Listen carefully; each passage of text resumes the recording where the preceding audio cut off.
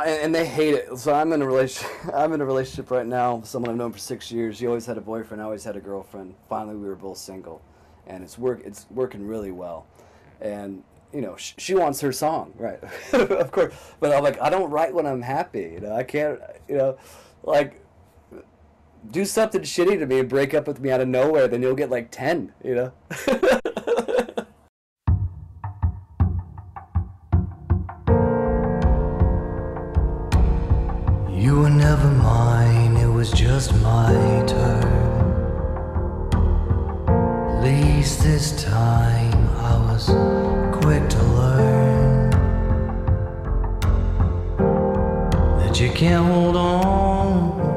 Welcome to The Marinade, a free flowing conversation about the creative process with creative people. Each episode, we welcome musicians, actors, comedians, authors, visual artists, filmmakers, anyone who creates art to talk about how and why we make stuff.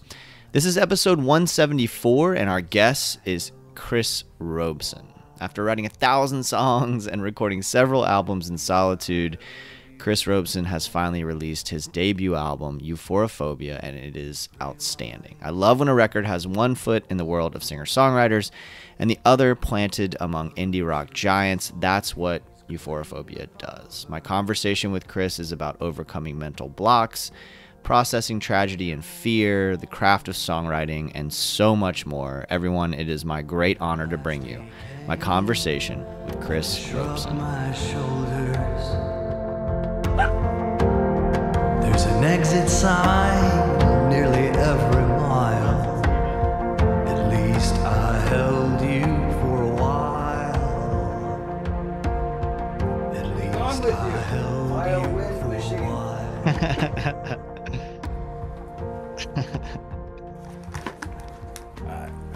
Yeah, I mean, There we go. There's also a air purifier on. I think that might have been contributing. Okay. Yeah, I mean, I'm in Florida and it's fucking 10,000 degrees right now. I'm, I'm in Florida, it's 10,000 degrees right now. And I have to, when I turn it off, I'm always like, at least I'm getting to talk to cool people. 'cause it gets, it gets sweltering in here. But man, this thing is so great. And uh, your story seems fascinating to me. I've done, done my research and, um, you know, listened to interviews with you and I'm just fascinated by how you got to this point. Um, so before we do that though, like I kind of want to, as a jumping off point, dive right into the record, if that's all right. I would love that. Thank you. Um, because there's a couple of songs, as I mentioned, that that really speak to me. The the first one um, that hit me is "Held You." Um, I'm just I'm going through my second breakup in nine months, and Mm. um, one of them was a ten year partnership, and the other one was this whirlwind romance. Where I was deeply in love with this woman, and and uh, and so like every day is just you know get up, put one foot in front of the other, you know, trying to trying to to get through the day. Like that's kind of the, the space I'm in right now, and this song really helped me. It helped me to think about all of the good things. It helped me to go back to like the appreciation for, you know, those I was in a relationship with those people for a reason, right? And this song helped me to understand it. So I wonder if you could speak about that particular tune that's meant so much to me lately. Thank you for saying that. Um, so my experience, the song was written about the latter of your two scenarios. It was the whirlwind uh, romance. Was a summer kind of fling. I met this girl, Lexi Kiddo, and uh, she was a songwriter. I met her at this uh, the Austin Songwriters Group at a Song Doctor thing where you bring songs and it's critiqued. And we took a liking to each other, and uh, she was really big in my uh, my decision to start writing full time because. I had all these song snippets and all these like little bastard children, you know, these little these little monsters. And she actually went through every one of them with me, and like gave them a thumbs up or thumbs down. She was like, Wow. but she was so interested just to go through it, and it's like some I put a bunch of pieces of gum underneath the table, and she was like flipping it over and like, mm, look at that one, look at that, you know, that one's good.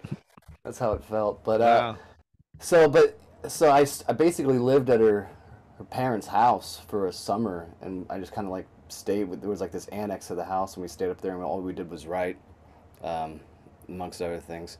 But yeah, she was, and so it was one of those relationships. It wasn't like really a, ever officially boyfriend girlfriend kind of that thing, but there was definitely love and some romance there. And uh, when it ended, you know, it was it was really tough, and you know, but we it was amicable breakup, and so I wrote that song for her, and she she liked it a lot. So I was mostly just trying to, you know, leave with romance the way we entered with romance, um, and so yeah, that, that was. Uh, it's one of the real. It's one of the songs on the record that I actually sing with my real voice. You know. Oh, that's- real- okay, so that's super interesting. You mean you mean like your internal voice, or you mean like your sonically your voice? sonically, not Okay. trying to. Yeah. So that's something that I'm really curious about because you go a lot of different places sonically on this record with your voice. And I'm curious about those choices. Like, is it each song needs something different? Is it a feel thing? I'm curious about that because I that definitely stood out to me that sonically you you're it sounds different on on different songs. It's part of the writing process. When I'm writing, I usually the character exists before the lyric does, Mm. because I like to do the the gibberish thing. Like I sing in tongues. That's how I find the song, kind of. Mhm. And so usually the character and the phrasing, and even the rhyme scheme, kind of exists before the lyric does. So, and then I t- I just try to honor the original spirit of the song most of the time. Sometimes they morph, but uh, usually whatever thing is coming out of me when it's created, I try to, because it kind of guides the concept of the song. Even the, my voice, I'm not like doing crazy Kermit the Frog shit, but there there there's subtle differences in the voices, and, and I and I feel the different character that's singing it, and so I try to write from that person's perspective, whoever they are. And, uh, so yeah, usually I commit to uh, the way it was originally intended. Sometimes I have to change it in the studio if it's not working, but Where do those where do those characters come from? I don't know. I like to do voices um, in general. I was like a theater kid, hmm but I don't know. It's just kind of experimenting when you're writing. You know, Okay. so what, whatever comes out in the moment. It, usually the groove or the rhythm of the lyric or the, you know, the the the character. The, the song has a character, and, and I try to make the the voice fit it. Usually. Okay. That makes sense. I okay, so let's get to what that process looks like then. So that sounds um a little more unique than a lot of folks that I that I talk to. A lot of folks do do the kind of gibberish thing. That's a fairly normal technique. But what is like from start to finish? What does that process look like for you in writing? Because one of the fascinating bits about this whole process is just how many songs you've written, albums you've been sitting on. You've been doing this a long time and you've got a lot of stuff. So there's a lot of process that you've Mhm. been through. And so I'm curious what that process looked like looks like and how much it may have evolved over time. Well, yeah, when, when I first started writing, I I was around 13, and I was writing the worst little mutated songs. I, my favorite band from a young age was Ween, and so it's it's part of the influence. Is just like let let the song be whatever it wants to be. Never make it sound like you, because there is no me. Like I'm never trying to, you know, sit down and write something. Um, and so yeah, you're just like anything goes, basically, and. Uh, so for a while, there was a lot of experimentation, a really a lot of really bad, bad songs for about five years. Um, but I started once I started getting better at structure, song structure. That's that's kind of when everything kind of fell into place. And I feel like the most important part when I'm writing is I'm ju- yeah, just trying to hammer something out. If something feels good, if something's fun to play, that's usually fun to listen to. Hmm. And uh, and so once I get like kind of like the, the idea of how the song feels, where the changes occur, uh, the concept starts forming. Once there's a concept, like who's the character and what are we saying here, then it just bam, bam, bam, bam. Everything usually falls into place. Wow. Okay. So the structure is that something that you're learning? You mentioned kind of the songwriting, um, sort of groups and that kind of thing. Like, Mm. are is that something you're learning from workshopping with other people? Is that something you're learning from process of elimination? Where does that understanding of structure come from, especially as as a young songwriter? A lot of it comes from just listening to music I, I love. You know, Beatles. Um, they have a lot of interesting structures. Uh, it's about toying with structure, trying to break it just enough to where it still works. Or even like the Shins. Like he's really great at just like Mercer's really great at like starting a song almost like in media res. Like you're already in the middle of the action. Like it's like oh this is the first verse. You just started singing and then he just like transitions between parts, uh, and you never know what you're expecting. So there's a lot of different things you can do with structure. It's about playing around, trying to break some rules, uh, but still have it seem cohesive. Um, but definitely working these songwriters groups has been has been useful to me. It's also been useful to how much I've written because the song doctor thing I was talking about. It's every Monday and Thursday, and so what I started doing. There's a lot of people who were nervous in there because you know people they've never been critiqued before. Um, and, you know, and they're, they're, they're babies. They don't want them to be torn apart. So I started on purpose writing a song two hours before Song Doctor starts. So I write, start writing at 5 p.m. and just trying to get something that makes sense in that two-hour period, just so I could show them, be like, look, don't be don't be married to your ideas. Everything is is malleable. But that what ended up happening was I started getting pretty good at that, and uh, being able to. Write some of the two-hour songs ended up on the record. you know? Oh wow. Okay, so let's get that gets that leads us to the fact that you had written so much and hadn't released it. At, Mhm. Like, can you talk? I know you've said a lot about it, but I'm fascinated by that. And and I think I'm fascinated by it from my own perspective. And I'm only speaking for me here. I haven't written thousands of songs, but I've got a record's worth of songs that I that I'm proud of. And I've only recently started to really confront my imposter syndrome about it. And part of that for me is that I'm surrounded. I have almost all my friends are musicians and songwriters, and so I'm surrounded by all these people who are objectively better than me, right?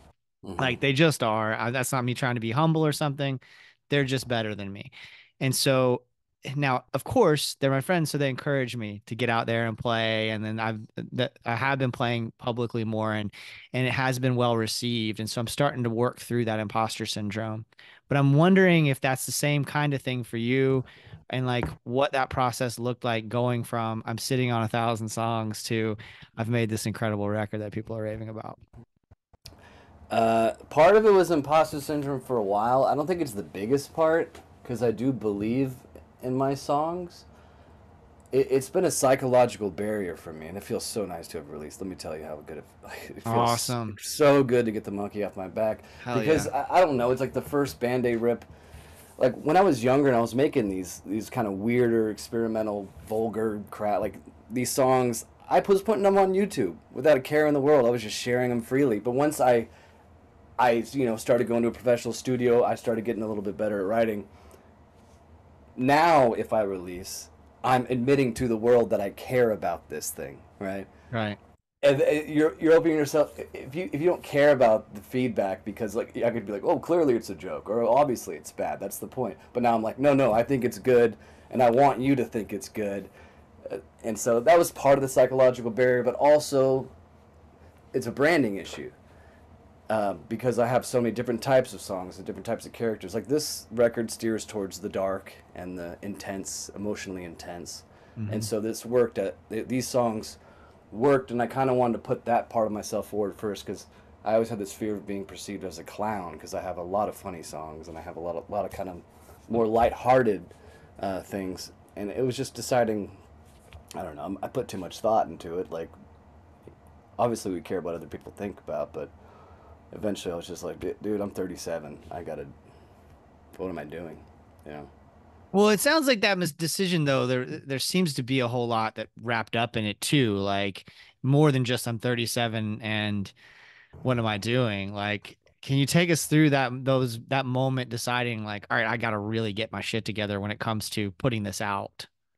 Honestly, a lot of my friends started getting annoyed. They kept telling me to release like the last five years. When are you gonna put your stuff out? Then I then I recorded the first record with Gabe Rhodes, and I never put that out.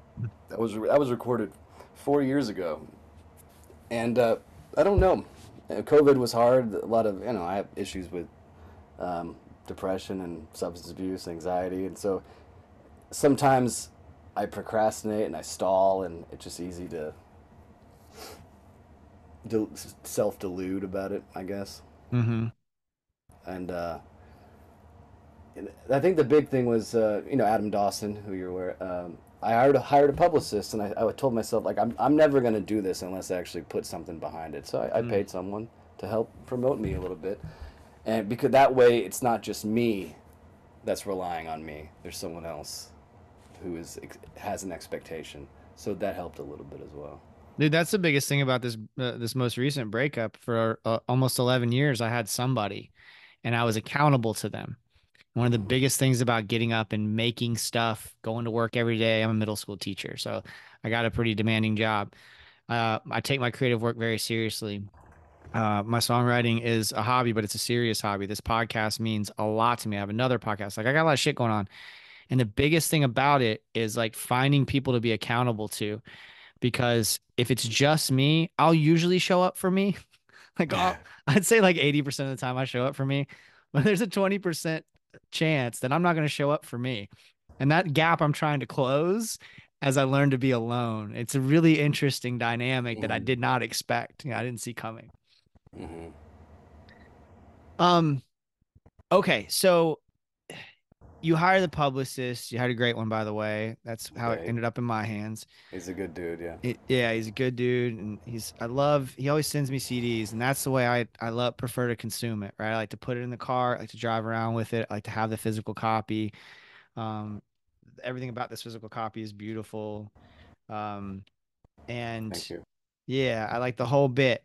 And um you hire somebody and my I guess my question now is like where do you go from here? Are you touring this record? Are you That's one thing that I need to get better at. Like, I love writing and recording. Being in the studio is my favorite place. As far as playing live, I've never been in a band. Everyone in this record is, you know, hired studio musicians. Never been in a band. It's a little bit more out of my comfort zone. People, when people see me play, they're always like, "Chris, you're a great performer. What are you worried about?" I, you know, I guess the booking, do, doing the whole thing. That's another little barrier I got to get over. Like, uh, admitting publicly that I think I'm good enough for you to come to my show. You know, Yeah. um, Yeah. so I need to play live more. I get I need to get more comfortable with it. I need to get more comfortable playing with the band. It's something I actually really want to do. It's it's not that I, I um, but I'm mostly playing it like singer songwriter hovels like New World Deli here in town. And I got some winery shows, but I, I I don't have the show like a consistent you know place that I play. So I would love to do that. As far as uh, music, what comes next? It feels nice that we have this bass line now, right? I got my first record out, so I can't use that as an excuse anymore. Now it's nice because I can just start putting stuff out whenever I want. It's the most liberating thing I think that I feel from finally releasing. Oh, I'm stoked for you. So what about the ones that you've had shelved? Like are those they'll be very soon here. And I, I got, I'm fighting with the uh, the urge to just put it all out right now. Like after the first one, just just put a record out every month for like a year, and then be like, okay, we're we're, ca- we're caught up. Man, that's awesome. That's exciting, uh, especially after having having spent so much time with this. Yeah. Um, you know, I listened to this. I went on a big road trip. The first time I listened to this was coming back from uh from uh I'm trying to think when he sent this to me. I'm almost positive this is when I was listening to it because I, I was coming back from from uh Kentucky where I'm originally from. Um I, I like got back to my roots and I went back to see my family and friends and like where uh, I was born, where my mom was born, where my dad was born. And then I went to uh, Laurel Cove Festival. I went to Bonnaroo. And then on the way back, I was like cycling through all the CDs that Adam gave me. Right. So I'm just like, you know, some of them eh, don't hit for me. So I just, you know, I'll give them a listen. It doesn't hit for me. This one grabbed me immediately. And I, I was like, all right, I got to talk to this guy. Um, I was But- worried about it too because I, I kind of chose the the first two songs are kind of the the weirder ones on the record. yeah. So I was like, the, it's a weirder voice on both of them. So I was like, well, if someone passes this filter, well, then they're gonna be in, right? yeah well i think that's one of the things that i love about it is that there's a lot of elements of sort of what you might expect from um, a lot of americana or singer songwritery kind of stuff but it's also got that element of indie rock kind of weirdness that i really gravitate toward and i'm Mhm. constantly trying to find like marry those those worlds you mentioned the shins earlier i had this whole period i'm a slightly older than you i'm 43 and like I had this whole period in the you know early 2000s where I was just crazy about like all kinds of indie rock spoon and um and uh and and the shins and Wilco and all this Lo- stuff right Lo- Lonesome Crowded West was kind of my my my favorite. Yes, all that stuff, right? And it's like, a- and but I also love Waylon Jennings, and I love all the stuff that people, uh, you know, the new Sturgill record and John Moreland and all this kind of singer songwritery stuff. Townes, I can go on and on. Yeah. But those those worlds are kind of. I feel like I'm constantly straddling those two worlds, and Right. that's what I feel like. There's a lot of. I love that you say that because I've I've told many people my goal is to to merge Kris Kristofferson and Ween. As- Hell yeah, as, man! As, as challenging as that may be, that that kind of is the goal. Because uh, Ween, I love like the the sonic atmospheres they create. Every song sounds like a different genre. Every song has a different voice, different character to it. And then Kris Kristofferson is like I think one of the best writers who's ever lived. yeah. But so Ween doesn't focus on like lyrical content normally. It's more about like you know soundscape. So if you could take a, a well written song and also kind of fuck it up just a little bit, do you know what I mean? Yes. Put, put, put some scars on it. Yes.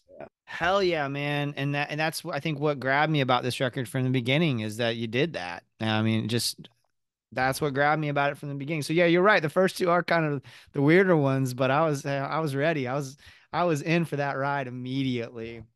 Um and then it just keeps giving and giving. The other song that I wanted to talk to you about that Mhm. has meant a lot to me, and especially today, for whatever reason, I re-listened today uh, a couple of times and feel the good things too hit me differently today than it has. I'm not sure why. I don't know what I was dealing with or needed to hear in Mhm. it, but it's one of my it's one of the standouts for me. One of my favorite songs on the record.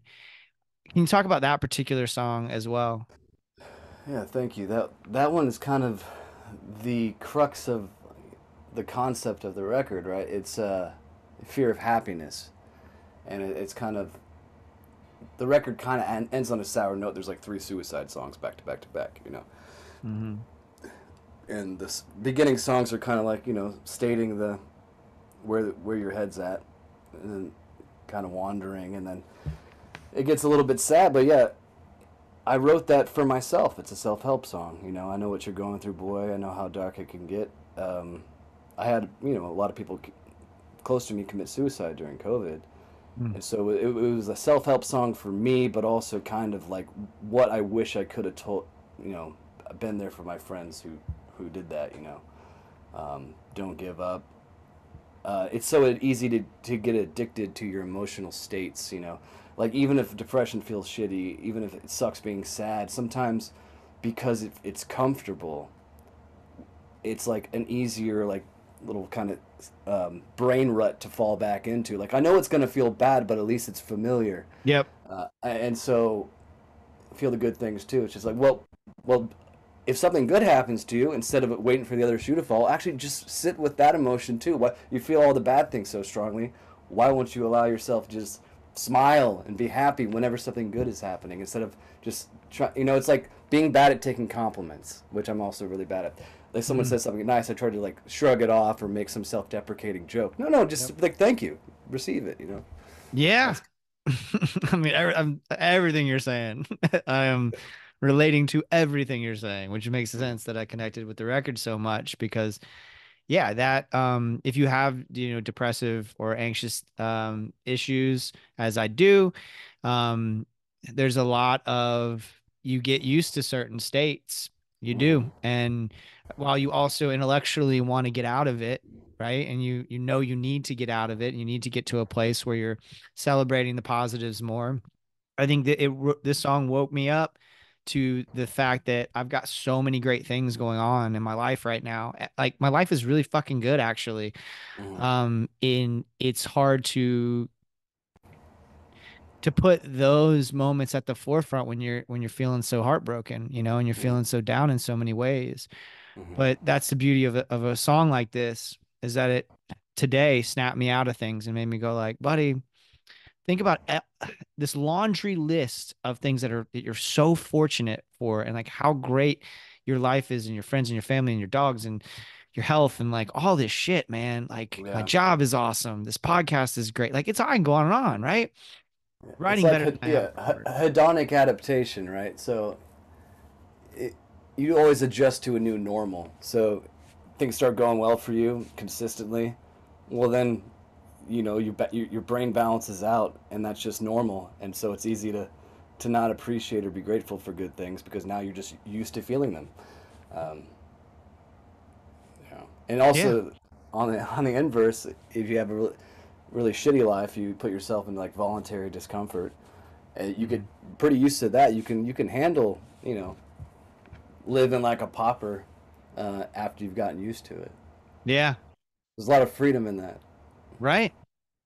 Well, okay, that's an inter- interesting point that you just made because I know in, in my research I heard that you were an engineer and you quit that job and saved up money and quit that job and oh, you, you, you did do some research committed yourself to kind of going full time into this art like can you talk that's not an easy decision man. And all of us want to do it those of us who make stuff right? And we talk mm-hmm. about that on this show all the time. Is like how do you know when you're ready to do it? How do you know when you're ready to go full in? Can you talk about your thought process there and like how you how you came to that place and how you pulled it off? Yeah so i graduated with my engineering degree when i was 28 i had a long go of it. Like i couldn't get into school. I couldn't afford it. Um, i couldn't get loans until i was 24 it was this whole victim complex woe is me story behind all this. I got over the bitterness eventually but I finally graduated the engineering degree from UT, and I was feeling good about myself. But that year, I I, uh, I collapsed playing uh, kickball with atrial fibrillation, which is a heart condition. It's like an arrhythmia. It usually happens to people in their 60s and 70s. But here I was 28 years old. Uh, so that was kind of like mortality flashing its lights in my face. And then I, I, I, I quit drinking and smoking for four years. Obviously, you see me doing both right now. But I was so, so sober for four years, um, and then that's when I kind of put my life together and I started saving all my money. And it be, at that point, I was kind of like, you know, I just gotten out of a breakup. My heart uh, failed me. Then the the oil market crashed, and so like even the, the degree that I spent ten years finally trying to get to prove to others that I was whatever smart or prestigious. Like I wasn't doing that for myself. Like I was, it was good. Mm. I was good at it. I'm good at math and science or whatever. So, but I never wanted to be an engineer. I was just doing it to prove something to other people. You know, yeah. and no one ended up caring when I got it. No one's like, like "Oh, congratulations, son," or whatever. Dude, it's such an important lesson. I that's why I got a law degree. I have yeah, a law no. degree that I got just to just to be like, "Fuck you guys, I can do it." and mm-hmm. that's a terrible reason. But mm-hmm. anybody listening, it's a terrible reason to go get a degree of any kind.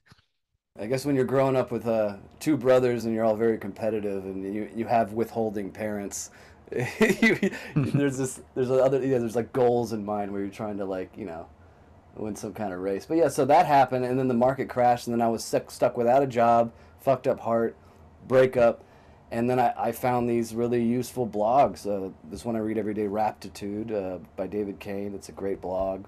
Uh, it's about mindfulness and you know being present and all that kind of you know woo woo stuff. And then Mr. Mm-hmm. Money Mustache is this uh, early retirement blog. This guy retired at 30, and he's a great way of writing. He's hilarious. So I read, the, I read, I consumed basically 400 of those blog posts in a couple weeks, nonstop reading it. And then I ended up getting a job in uh, in tech and real estate and I just saved, yeah, saved 75% of my money for a long time because I realized the one, the only thing that's scarce these days is, is your, uh, is your time and mm your liberty, right? So I'll, I never really cared about getting the fancy house and car. So I was like, well, I'm going to use my money uh, to give myself time. So I live really cheap. My rent's 400 bucks in Austin. This room what? here. I moved into a dining room. It didn't have a door on it. I had to make a sliding door. Um, yeah, Holy real cheap. Shit. My total bills every month, if you take away alcohol and cigarettes, like eight like eight hundred bucks a month or something. So what? I, tr- I tr- yeah. and I saw I was saving all my money as an engineer, and then I, I just found I was like I can live for like five years without working, and that was and that's the moment I pulled the ripcord, and I've just been dedicating myself to to writing every day, and uh, all, but you could also become a slave to your own freedom. And yeah. and uh, there's a little bit of that you know like your time becomes less valuable you have when you have a lot of it just like anything mm. right?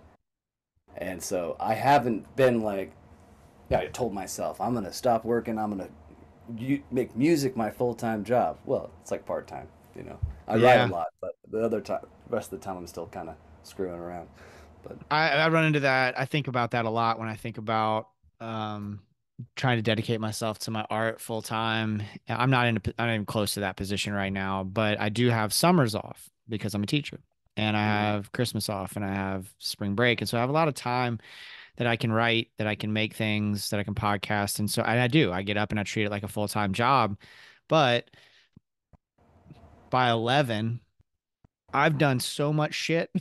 like in, on a on a July day by 11 o'clock in the morning, Mhm. I've already like prepared for two podcasts, maybe recorded one. I've cleaned the house. I, you know, there's just so much that you can do when you have that time. And then it's like, oh, I guess I'll just crack open a beer, or I guess I'll just take a nap, you know, or whatever I decide to do that day.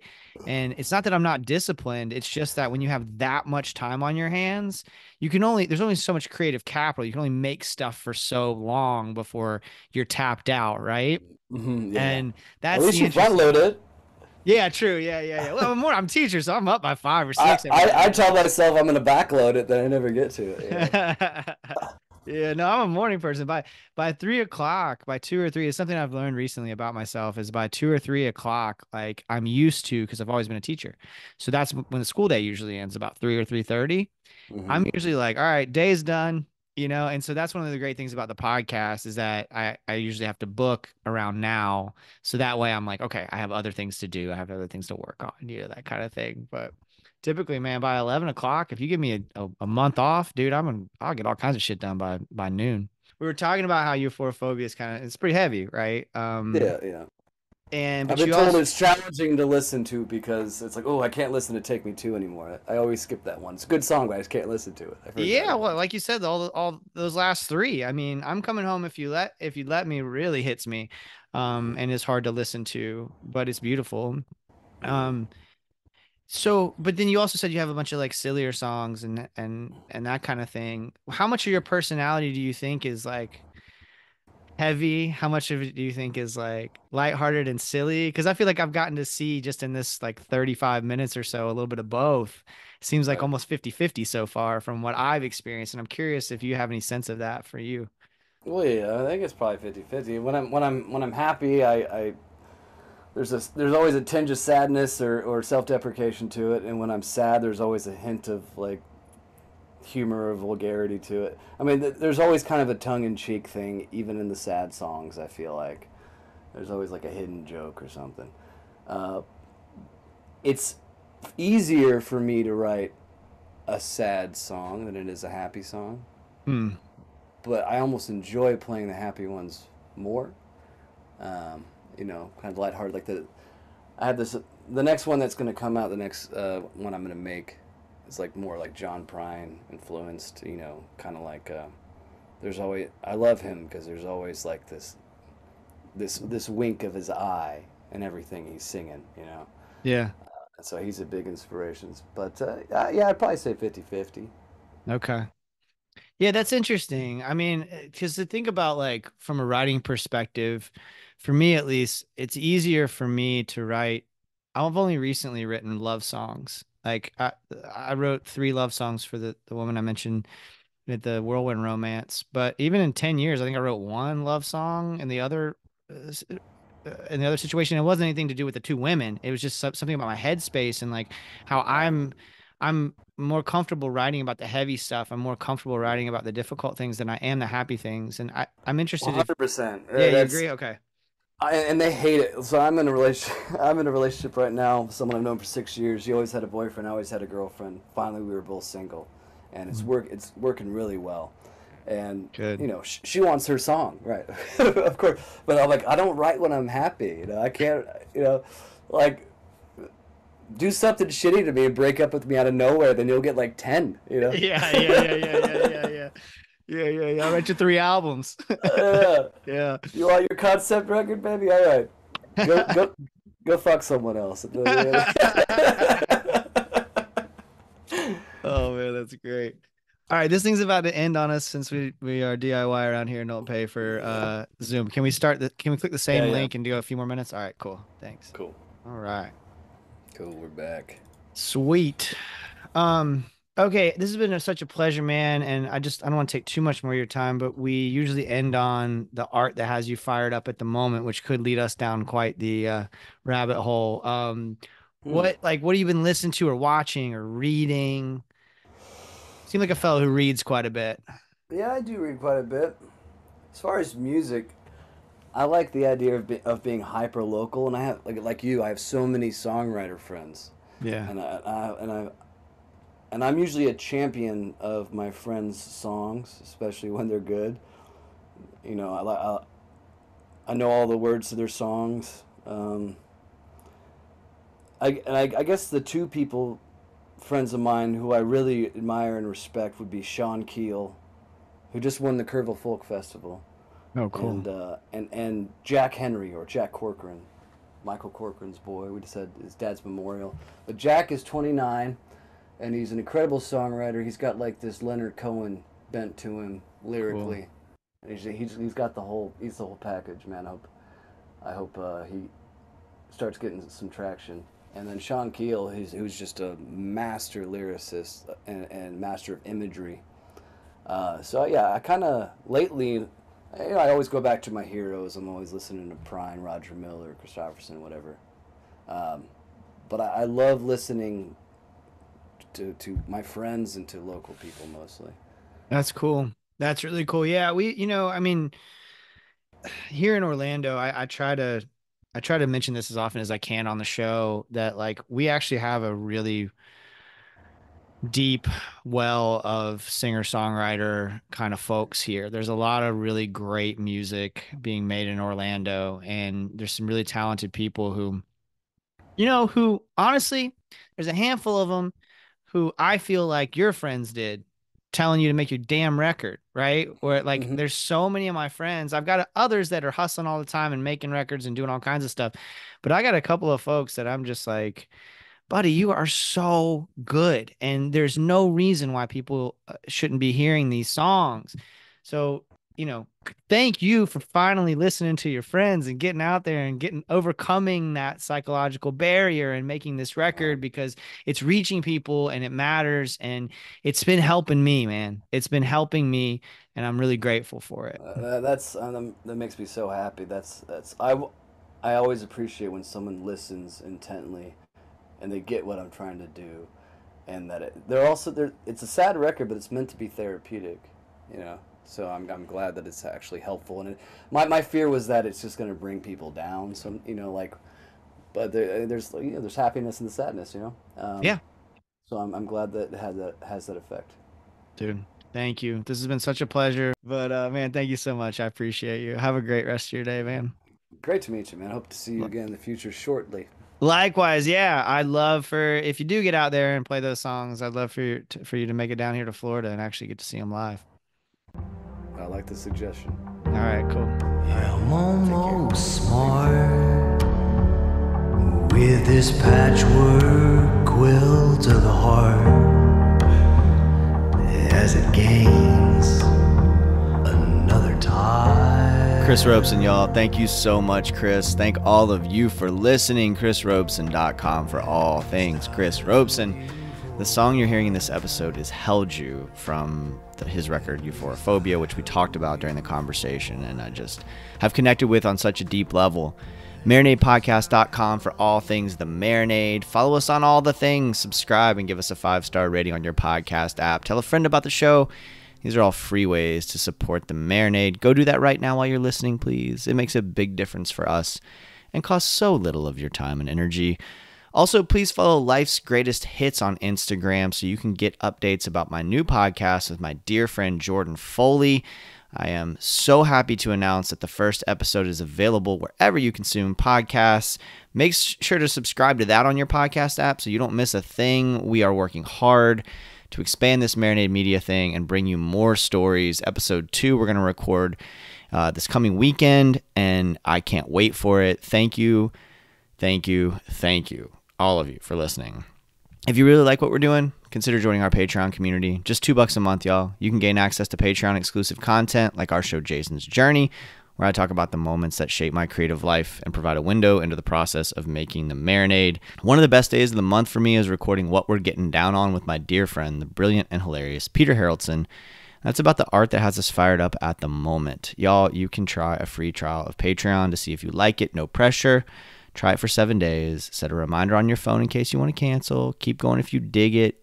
It's only two bucks a month. If you want to support the show financially, but you don't want to commit to a monthly subscription, I totally get that. You can Venmo or PayPal us. It's just at the marinade, and all the money goes right back into the making of the show. My trip to Kentucky and Tennessee and Georgia this year um, on my Grounded Summer Tour, where I covered Laurel Cove Festival, I covered Bonnaroo. That happens because of the generosity of our listeners. But above all, we're just so thankful that you listen and spread the word about the marinade. Until next time, go out and create something. Cheers, y'all.